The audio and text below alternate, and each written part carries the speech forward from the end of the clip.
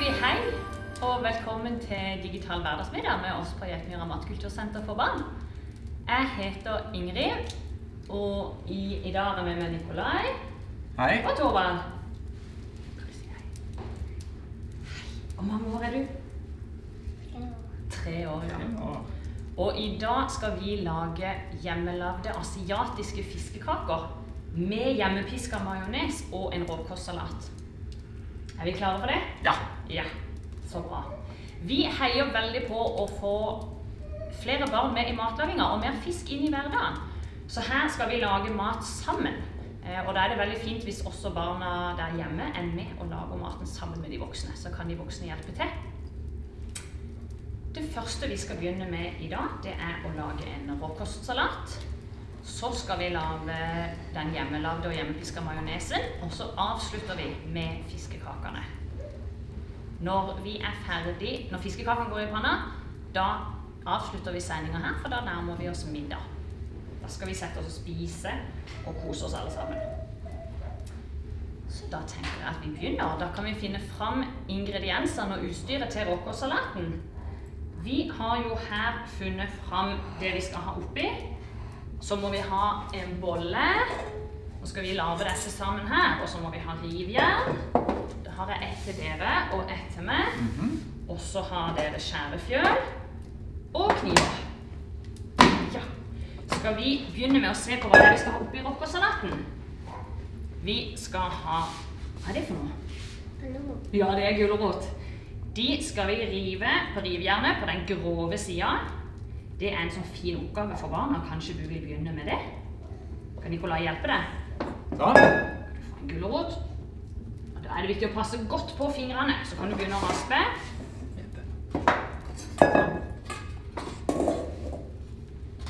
Så skal vi ha kål. Den skal finsnittes. Vi skal ha fennikel, som bare skjæres i tynne skiver. Skjær av bunnen. Skal vise dere underveis som vi holder på.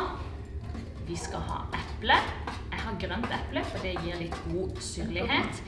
Dette er ikke økologisk, så jeg vil anbefale å skrelle det eh, hvis det ikke er økologisk. For det er et sånn vokslag på en del sprøytemidler på epler som ikke er økologiske. Så det skal skrelles. Så skal vi ha appelsin. Den skal skrelles og skjæres i terninger. Og alt skal oppi samme bollen og blandes, så smakene får gjort seg. Hvis dere tar den, Ja. så begynner jeg på denne gulrota. Kjempebra. Hvor er det bra? Jo, se hvis vi gjør sånn da. Så detter det ned. Så det er viktig å passe på fingrene når vi nærmer oss slutten på gulrota. Ja, ja, kjempebra. Det er bra. Skal jeg hjelpe å holde den? Sånn. Så kan du raspe. Ja, ja, du kan holde.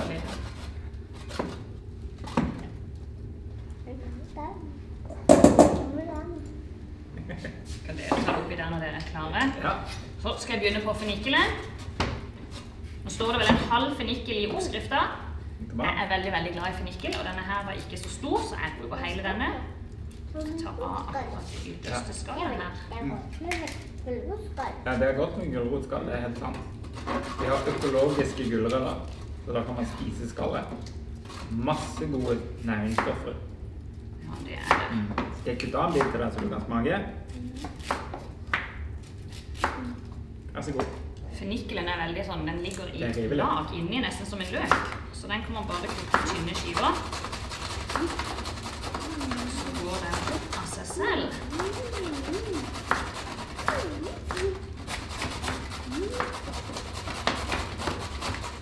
Jeg bruker alt for fennikelen å vaske toppen, som så var litt god. Mm, var det godt? Har du lyst til å smake på fennikel? Det er så godt. Oi. Den. Vil du også ha, Nikolai? Ja, takk. Det Takk. vil jeg ha for fennikel. Det må dere gjerne smake på. Det er kjempegodt. Mm. Hva smaker det? Godt. Godt. Mm. Det har en litt sånn lakrissmak. Kan du dunke litt på den? Mild anissmak. Den er veldig god. Og så er det veldig sprøtt og godt. Sånn, Det ja. en god tekstur. Kan du skrape ut det som er inni der? Ta inn hele hånda. Sånn, ja. Og så skrap du ut. Sånn, ja. Kjempebra. Da kan alt gå oppi bollen der. Du putter alt oppi. Kjempebra. Mamma, mamma må riste. Jeg må riste litt, ja. Kanskje dere kan ta og skrelle og skjære den også i terninger. Ja. Så skal jeg ta og finsnitte kålen litt. Den var god. Ja, den var god. Jeg har rødkål og litt vanlig hodekål. Den er av kjempegod holdbarhet. Eh, For som dere ser, den kommer i ganske store biter. I en del butikker kan du spørre om å dele, så du slipper å få med en hel. Eh, Men hvis du tar bare litt plast på den og legger den kaldt i kjøleskapet, så kan den holde i mange uker. Den har et sånt vokslag på seg, har den ikke det? Jo, den har det. Hvis jeg tar av et blad og kjenner, er den litt sånn voksete. Det er noe kålen produserer selv. Hjelper med holdbarheten. Den eh, kålen her, den har vi faktisk nå hatt i kjøleskapet i fem uker. Fem uker har Ja. Og ligger fin. Ligger fin. Ligger fin, ja. Mm, Hva sier du for noe? den var kul.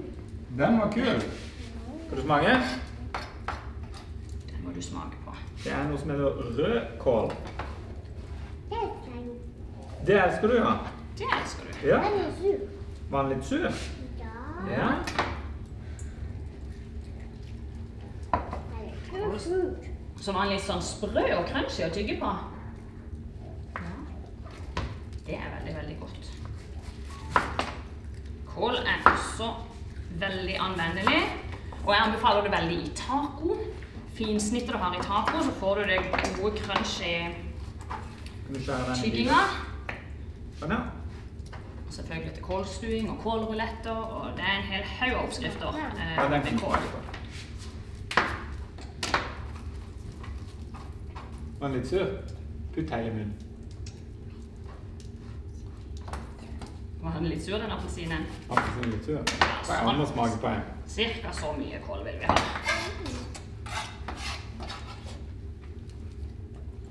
mm. Var den litt søt du kutte i biter? Nå skreller jeg eple. Hva var det du kalte det for noe? Gekkoeple, ja, fordi det var grønt. Det er litt kult. Sånn, ja. Så vi skal ha gekkoeple i eh, vår. Dere kan bruke hvilket eple dere vil. Eh, Men jeg syns det er veldig godt med de litt syrlige. Balanserer smaken litt og gi litt ekstra friskhet til råkostsalaten.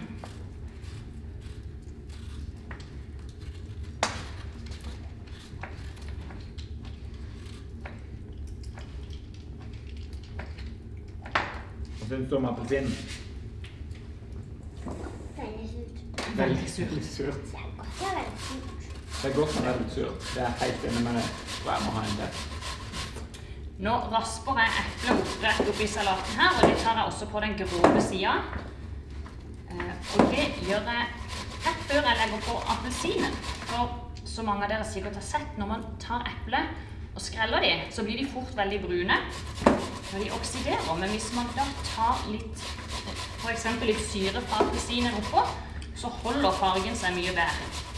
Så hvis man tar eple først, og så appelsinen rett oppå, så treffer den syren, blander den seg med eplet, og så holder det seg friskt og fint i fargen. For denne skal bare stå og godgjøre seg mens vi lager resten.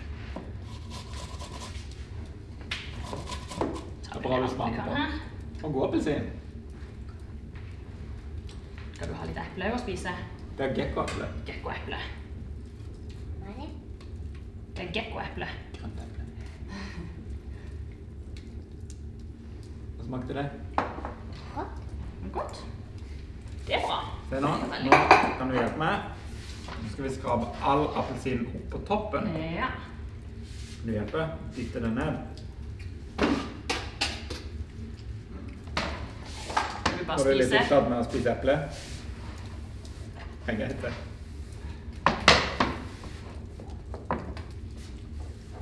Skraper vi appelsinen oppå. Sånn. Skal du bare ha de der til å spise, eller skal vi ha de oppi bollen? Sånn, ja. Ja, så godt. Oi, Og så hva er det Ingrid har der? Hva er dette for noe? Sitron, ja. Skal du smake på den nå? Mhm. Mm. Det er veldig surt. Ja, det er veldig surt. Skal vi dele den i to? Men vet du hva den er ekstra sur? Jeg tar litt sitron også oppå. For det syns jeg er veldig godt. Går det greit? Og det er veldig, veldig surt. Er- Ingrid, kan jeg få en litt sitron? Ja. Takk. Se der. Nå er jeg spent. Vi ser om Nikolai spiser sitron. Kjempegodt. Det er litt søtt òg. Sant? Sitronene er veldig gode nå. Nå som alt er oppi, jeg har rene hender, de vasker jo før jeg begynte. Så er det bare å blande rundt.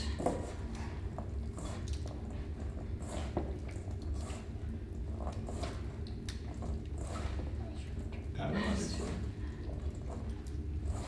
Til og med, til og med sprute. Ja, du spruta Ja. litt, da.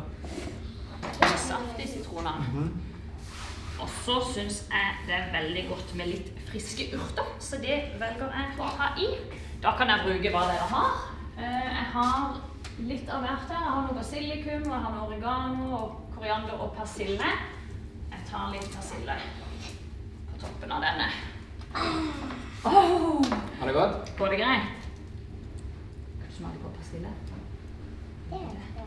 Hva sier du? Det liker du? Ja, det er veldig godt. Var veldig godt. Den var veldig god, ja. Det er bra. Det er bare og grovt. Skal jeg skal spise. Skal du spise opp? Skal du spise hele den skiva med sitron? Det er Så skive. legger den her, så kan jeg dele den sånn at du kan spise inni den. Den Det er litt lettere. Sånn. Sånn. Da er vår eh, rockersalat klar. Så da setter vi bare den til sides, og så skal den bare stå og godgjøre seg. Så skal vi begynne å finne fram ingrediensene til majonesen. Nå skal vi lage majones. Og da kommer vi til å trenge litt hjelp av deg, for nå skal vi piske en del. Da må vi ha superbjekkomusken din.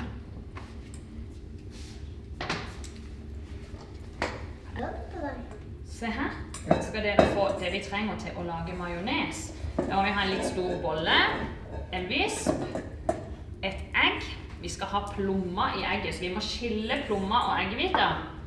Kanskje du kan begynne med det. Og så skal vi ha sennep.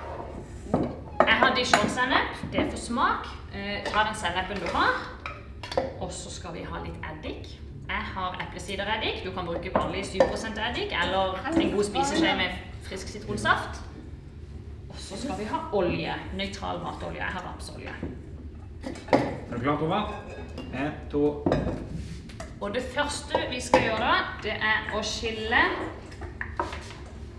eggehviter og eggeplommer. Så skal eggeplommer i bollen med en teskje sennep og en kork med eddik. Så skal vi begynne med å blande sammen det. Har ikke du et uh, triks med de eggehvitene? Uh, tenkte du på frysetrikset? Frysetrikset? Ja. For eggehviter de er egentlig holdbare ganske lenge, og de kan fryses. Så det jeg gjør, jeg putter de bare i en boks i frysen, og så setter jeg bare en strek på din teipbit oppå boksen når jeg da tilsetter en ny eggehvite, så jeg vet hvor mange det er. Sånn at når jeg skal lage marengs eller noe, så har jeg det tilgjengelig. Kan jeg bare ta det ut av frysen. Nå fikk jeg eddik. Tilsetter vi. Prøve? Og så skal vi ha en teskje med sennep. Er du glad i sennep? Ja, bra. Da tar vi litt nye. Ja, sennep er godt. Sånn. Og så skal vi ha 2 dl nøytral olje. Det skal jeg. Det er noe vann. Sånn. Da olje. Jeg ser at vi må ha et uh, desilitermål til. Ja. Det skal jeg gå og finne. Da kan dere begynne å blande det først. Mm. Hei. det går fint. Tørker det bare opp. Hva er du? Du gjør bitte grann olje. Sånn. Rør i vei. Det som er trikset nå, det er å tilsette litt og litt olje. Så da begynner vi med bare noen få dråper. Rør i vei, dråper. Sånn. Akkurat nå. Full fart. Oi, oi, oi, oi, oi. Skal si du er god til å røre. Litt til. Sånn. Det må være litt masse. Det må være litt masse, men vi kan ikke ha oppi masse med en gang. Vi må ta bitte grann olje oppi nå, og så kan vi helle oppi mer og mer olje etter hvert. Skal vi bytte på røret? Skal jeg røre litt? Du kan? Ja, det er bra. Sånn, ja. Rundt og rundt og rundt. Ja. Ah, du er god. Eh, Er du en kokk? Eh, litt kokk, kan vi si det? Jeg skal være blåbland vekk. Åh, kjempegod. Flott. Superkjapp. Men det er jo ikke noe. Se, vi har sånn. Da skal det bare vekk. Røre litt? Vi har konkurranse med Ingrid nå, se hvem som kommer ned. Åh, dette blir spennende. Da må jeg jo begynne med bare bitte litt olje i begynnelsen. Ja, det kan du. Kjempebra, Tova. Mens dere pisker majonesen, så skal dere få høre noe ganske kult. For majones er egentlig en umulighet, for vi skal blande sammen olje og vann. Det er jo vann i eddiken, og det er vann i sennepen. Og her har jeg jo et glass med olje og vann i, og da ser dere hva som skjer. Så det er olje bare legger seg på toppen. Så hvis jeg blander det litt, så går olja tilbake igjen. Den vil ikke blande seg med vannet. Så for at vi skal få dette til med majonesen vår, så skal vi, må vi tilsette et stoff, eller noe som heter lecitin. Og det finner vi i eggeplomma. Kan dere si lecitin? Spesielt dere barn hjemme. Kan dere øve? En, to, tre. Lecitin. Litt høyere. En, to, tre. Og så kjempelavt. Én, to, tre. Lecitin. Og det er en emulgator. Det er en emulgator. Det gjør at olja og vannet binder seg sammen. Det er noe som bitte, bitte, bitte, bitte, bitte, bitte, små molekyler i, som har noen tråder på seg, som blander seg både med fett og med vann. Og det gjør at den blandinga blir stabil. For nå, det blander seg jo, men det er jo ikke en stabil blanding. Den går jo rett tilbake til sånn som den var. Og når vi da har lecitin så gjør det at blandinga blir stabil. Så majonesen, som egentlig er masse flytende væske, kan bli fast. Skal Skal vi se Oi, se det er kjempebra. Ja, det er bra. Det er bare å røre. Så skal vi se om vi kan få alt dette her flytende til å bli fast etter hvert. Ha litt mer. Skal vi ha litt mer? Vi må røre litt mer først. Kjempebra. Ja, nå er det bra. Sånn. Tre dråper til.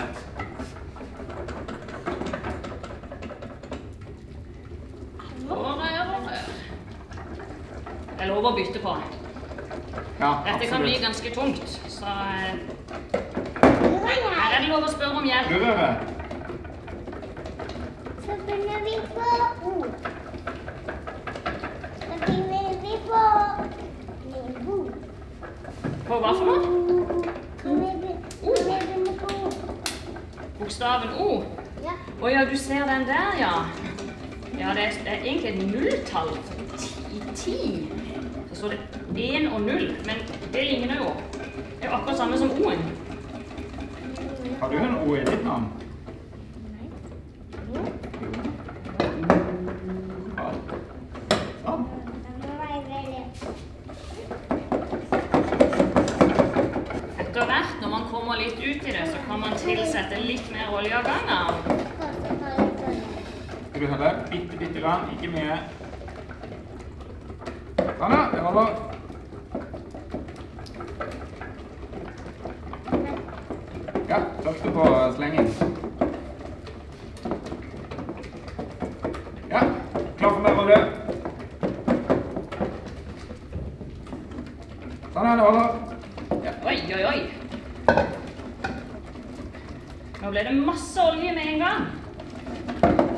Ja, nå kan du ta resten.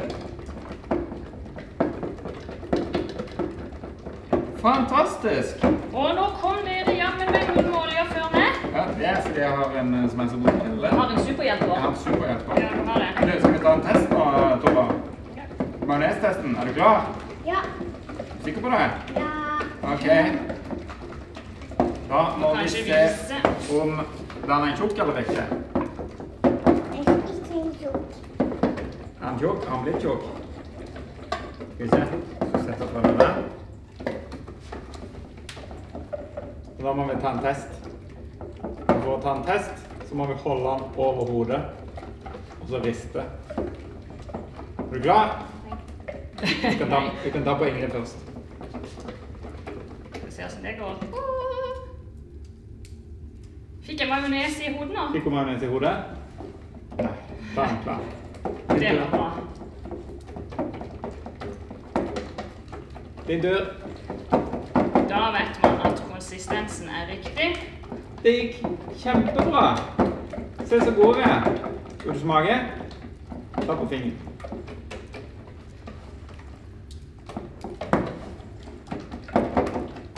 Det var bra. Jeg tar min egen her. Mm. Den var god. Eh, men Er skal vi ha litt smak i den? Du vil ha eple i? Ja. Nå brukte vi opp hele eplet vi hadde.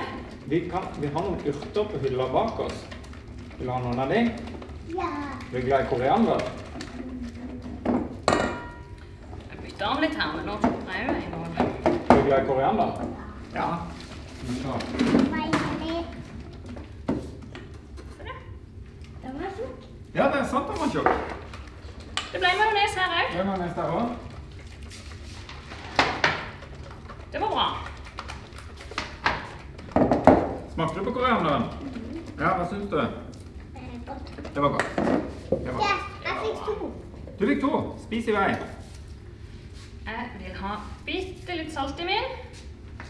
Det trenger man ikke ha, men det er litt godt med smak. Vil dere ha det? Bitte grann. Litt sånn? Ja. Kan du røre det, da? Kjempebra. Å, gikk dere for koriander i? Vi gikk for koriander. Ja, så herlig. Mm. Ta litt persille i den òg. Sånn. Nå heller jeg oppi det. Kan du røre det rundt? Sånn. Bruker jeg bare samme fjøla som i stad, som kutta det andre i. på. Kjempebra, Tova. Sånn. Majonesen kan du egentlig smaksette med akkurat hva du vil. Eh, av friske urter eller krydder. Om du vil ha hvitløk eller chili. Nå tok jeg persille, og dere tok koriander.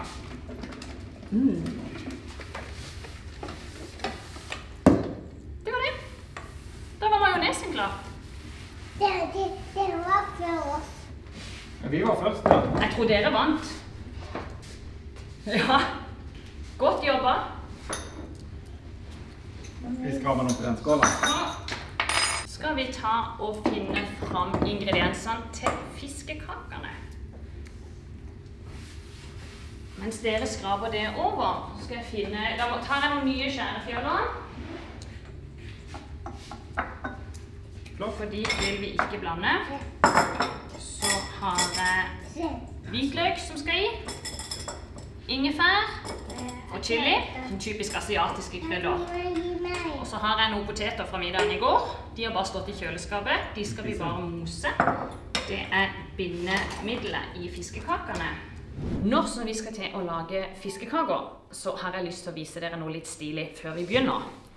For her har vi en hel fisk. Dette er en sei.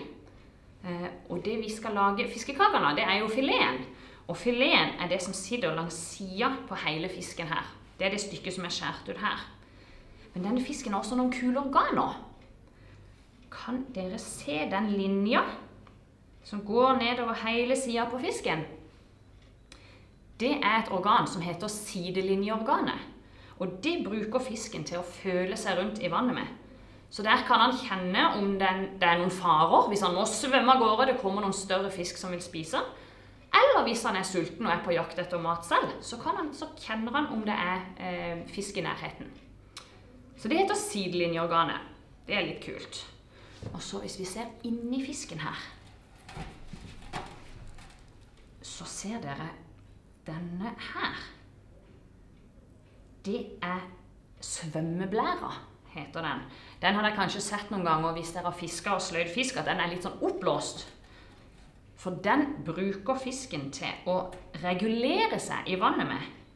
Så denne fisken kan bruke svømmeblæra når han skal svømme oppover i vannet, eller hvis han skal ligge helt på bunnen. Da er det det organet som er med på å regulere hvor fisken er i vannet. Og så har vi inni her så har vi jo noe litt tøft. Her har vi enda et organ.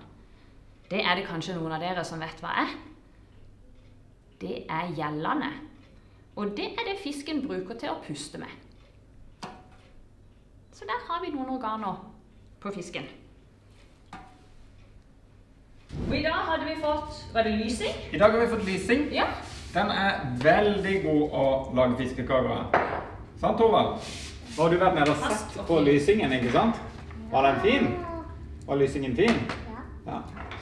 Kan jeg få en? Ja, du skal få Ja, du skal få Det vi skal gjøre nå du kan egentlig, Kanskje dere kan begynne å kutte fisken. Ja. Den skal bare kuttes i terninger som skal i fullprosesseren. Så en centimeter, halvannen, to. Så, Nå kan du skjære den. Sånn, ja. Potetene, da tar du bare gaffelen. De skal bare moses. Det kan jeg kanskje gjøre etterpå. Ja. Så kan jeg få lov å mose potetene. Så skal jeg begynne å kutte krydderne vi skal ha i. Forsiktig. Sånn. Da! Sånn. Må du holde godt i knærne.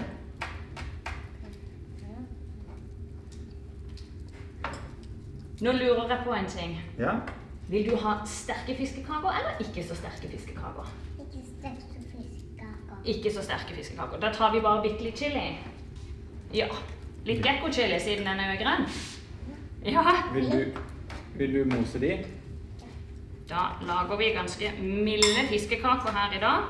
Men det kan jeg ta helt etter eh, hvor sterke dere vil ha dem. Du kan bruke fingrene. Det står vel en- halv chili i oppskriften. Så tar vi dette, så klemmer du.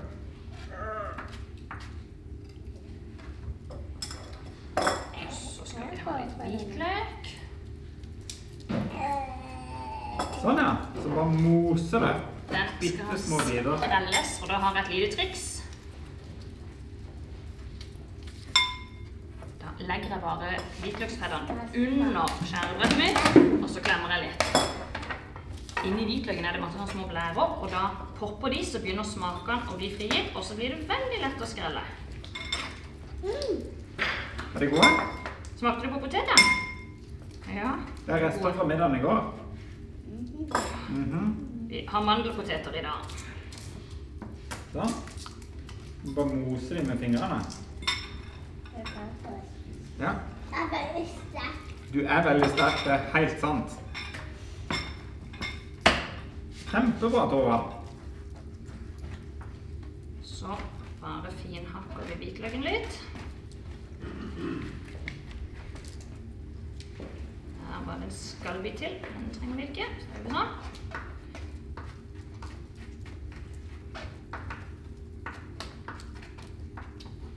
Det skal jo også kjøres i blenderen. Og så tar jeg ingefærrota her. Nå ser du denne har skall på, så da kan jeg bruke bare en skjei til å skrelle den.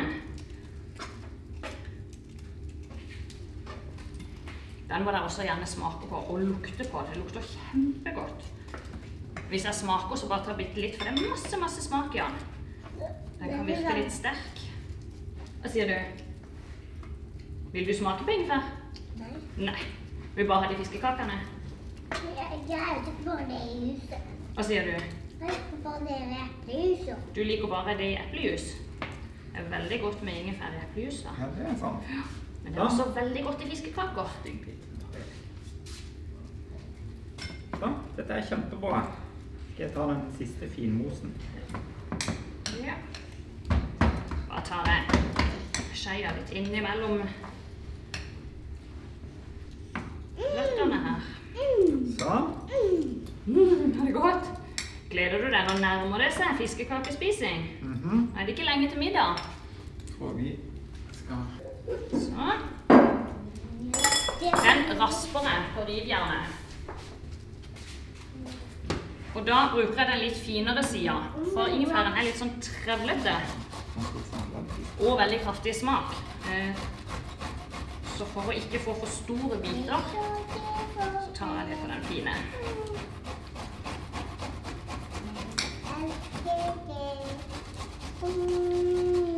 Synger du for oss? Det var hyggelig. Vil du ha litt vann? Og drikke? Ja. Og igjen, pass på fingrene når dere nærmer dere på den.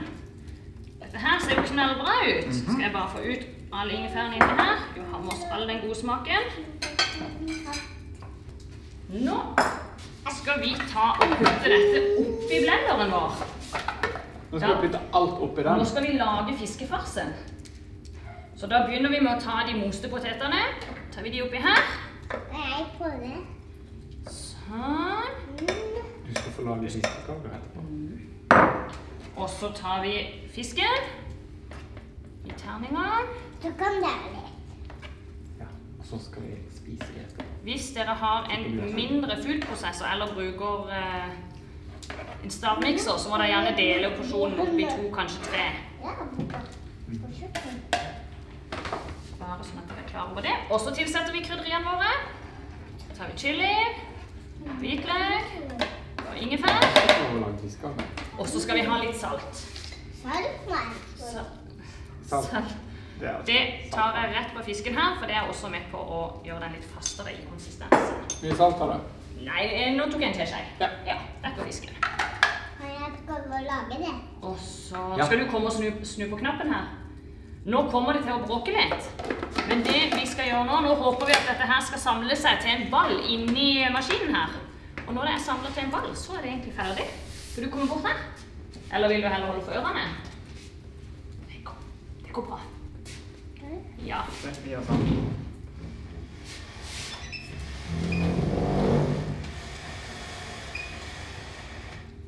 Kan du vri den mot oss?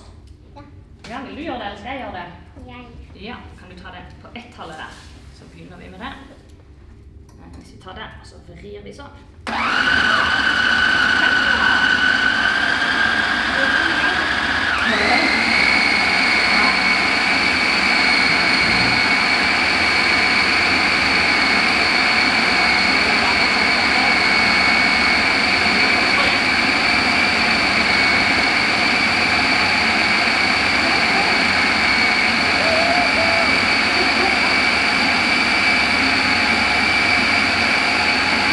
Jeg ser jeg skal snu litt på deg. Ops, det var det lokket. Nå bråker det. Nå det bråker ikke nå. Hva sier du? Nei, det bråker jo ikke når vi skrur den av. Da bråker det ikke. Ferdig. Nei, den er ikke ferdig ennå. Vi må kjøre den litt grann til.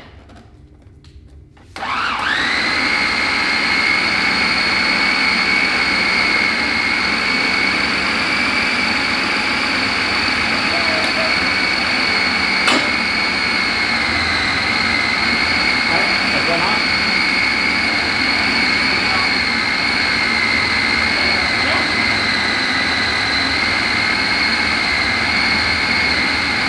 Sånn, ja. Så den samler seg.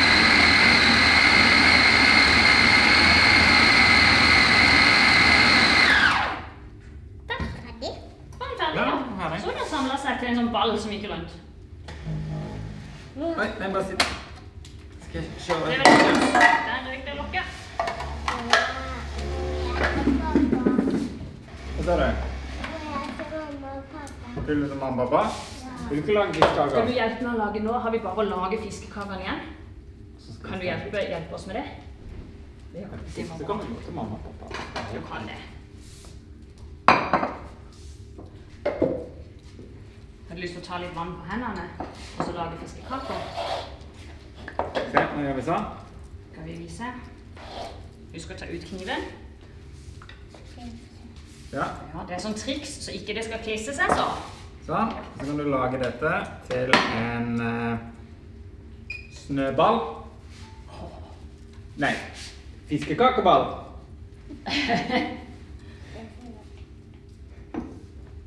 Er du god på å lage snøballer? Ja, det er bra. Ja. Sånn, ja. Fantastisk. Kan du klemme den helt flat? Nå har jeg også satt på stekepanna på sånn medium pluss varme. Legge den på tallerkenen. Ja, det var litt, det var litt, mye, litt mye fisk. Du er så sterk at du klemmer så hardt. Tar man en sånn passe mengde er hull i midten. til en ball, Sånn. så klemmer man bare litt ned fra toppen Fantastisk. til det blir ei jevn kake. Ja, ja. Kjempebra. Mm, det syns det lukter så godt allerede, for det lukter så mye ingefær. Ja, Den kan bare ligge der, så han må ikke bli for flat. Da kan de bli svidd. Og det vil vi jo ikke ha. Vi vil jo ikke ha svidde kaker, vil vi det? Nei. Vanlig stekte. Sånn, ja. Skal du ha en til å lage? Skal du klemme den flat sånn? Forsiktig på toppen. Ja. Kjempebra. Litt grann flatere. Cirka sånn som den. Sånn. Sånn, ja. Og så kan du klemme litt på den på toppen. Kjempe... Ja. Litt til. Litt til. Og nå er du nesten der. Kjempebra. Perfekt. Ja, Kan du ha en til? Så må du ha litt mer vann på fingrene. Lukter det godt? Legger vi de her.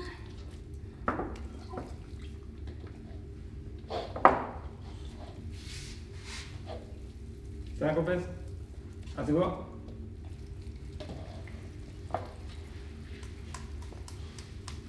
Ja, kjempebra. Sånn. Det, det er sånn, ja. Helt ypperlig. Du venter. Sånn. Fantastisk. Bare legg det på tallerkenen. Du er jo knallgod på det her. du. Er det så- er det lurt å forvarme. Det blir kjempefint. Da tar jeg opp nese. Ja. Er det som en flat nese? Se her, vær så god. Ta en til. Forvarme stekepanna, eh, og så ha fire, maks fem fiskekaker i eh, av gangen. Sånn at det blir en jevn varme. Nå skal vi hive fiskekakene i panna, for nå er den varm. Er den varm? Oi, hørte du den lyden? Tror jeg vi begynner med fire fiskekaker. Er du sulten? Ja. Og nå nærmer det seg middagstid. Skal vi finne fram litt frokostsalat og litt majones? Nå Mhm. gjøre det klart. Ja, så har jeg.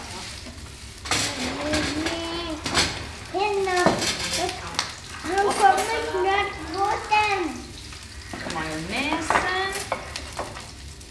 Nå kommer snart båten. Er dere dette bordet her vi kan sitte? Ja, Jeg har den med Jeg den under. det var den, ja. Skal vi se. Den var stor. Ha en stor middagstallerken? Er du med? Ja. Sånn. Den var god. Er det salat, da? Det er frokostsalat, ja. Det var jo den vi lagde i stad. Husker du det når du raspa gulrøtter? Skal ha appelsin. Tusen takk. Så hadde vi fennikke og litt kål. Mm. Og litt persille på toppen. Og eple. Ja, til og med gekkoeple. Dette er den majonesen som du og meg lagde. Vil du ha litt av den? Jeg vil ha litt eple. Sånn. Det er eple i den frokostsalaten. Jeg har lyst til å vise en ting med fiskekaker. Nå som de steg går, så ser dere at det begynner å bli litt hvitt opp langs kanten. Det er et tegn på at fiskekjøttet steker og begynner å bli klart. Og den lysleik. Den var fin. Så ser jeg at den ene fiskekaka mi her var litt tjukkere, så den gir jeg bitte litt tid til før jeg snur den. Rette. Vet du? Må smake. Hva er dette? Nei, hva var det da?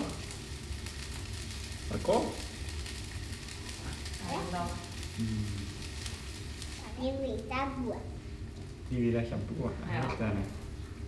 Er det kålen? Mm. Nam, nam, nam, nam. Dette er veldig godt. Det er veldig godt. Nå får du snart ei varm fiskekake rett ifra panna. Kunne du tenkt deg det? Nam, nam, nam. Nam, nam. Det veldig godt. Ja, det blir veldig godt. Det er veldig godt. Hva sier du? Hvite er veldig godt. Middag er veldig godt. Jeg er helt enig. Mm. Jeg er veldig glad i middag. Middag er veldig godt. De hvite er veldig gode.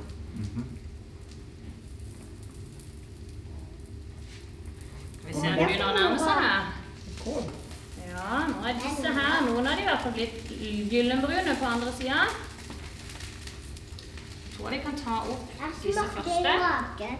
Skal du få først her? Ja. Nå må du huske at disse fiskekakene som kommer på panna, de er veldig, veldig varme. Vil du ha en eller to? To. To. Så må jeg kanskje vente litt.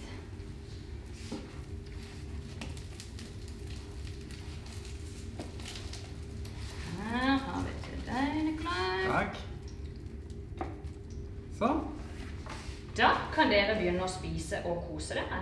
Takk. Så sier vi egentlig takk for oss, og håper vi det smaker. Ja. Smaker. Ha det. Ha det. Ha det. Skal vi si ha det, Tove? Han sa det. Vi kan vinke alle sammen. ha det! Ha det.